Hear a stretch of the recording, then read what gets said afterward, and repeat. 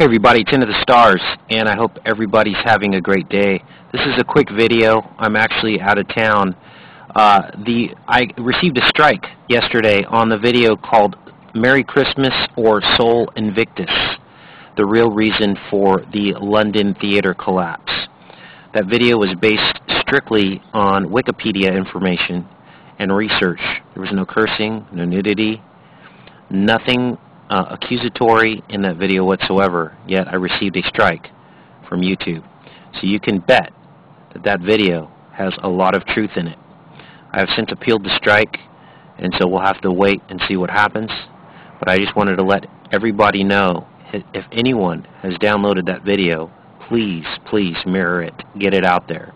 As soon as I get to a computer, I will definitely upload that video to Vimeo and wherever else that I can where we are not being policed and censored by YouTube.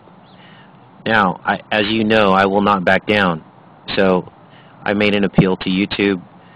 Obviously, the effectiveness of that video, it being Christmas Day today, has already been neutered, so to speak, by the censorship powers that be.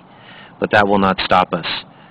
So anyway, you guys, take care and be safe, and just want to let you know that uh, all your hard work is paying off, and the truth is getting out there, and people will learn the truth. Take care and be safe.